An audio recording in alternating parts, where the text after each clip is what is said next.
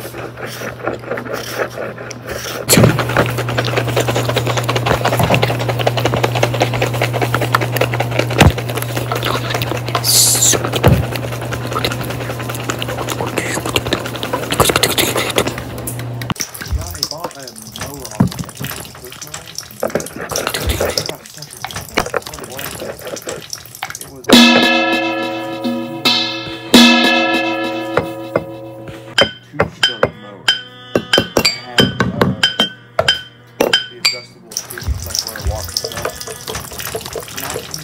1994 and it is practically brand new. Like it's been fully restored.